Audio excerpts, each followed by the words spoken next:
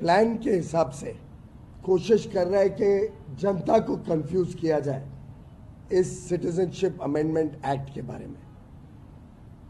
हो सकता है उनको लग रहा हो कि ये सरकार तेज गति से देशित और जनहित के इतने सारे कार्य कर रही है कि विपक्ष की रेलेवेंस कम ना हो जाए। और उसी के कारण सिटीजनशिप अमेंडमेंट एक्ट पास होने के साथ ही उन्होंने एक पूरे गलत फहमियों के आधार पर देश में प्रचार प्रसिद्धि शुरू की, हमारे युवा भाई बहनों को भड़काने की कोशिश की, गलत फहमियों के आधार पर। Sorry I am little under गलत फहमियों के आधार पर अलग अलग स्थानों पे हिंसा की भी वारदात करने की कोशिश की।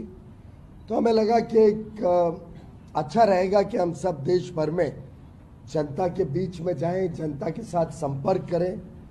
एक अभियान के रूप में आज से अगले दस दिन में देश भर में हमारे नेता, हमारे कार्यकर्ता लोगों से संपर्क करेंगे।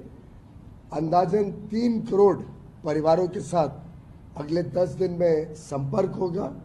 और जो गलत फहमियाँ प्रसिद्ध करने की कोशिश हुई है उसको हम खत्म करने के लिए प्रयास करेंगे।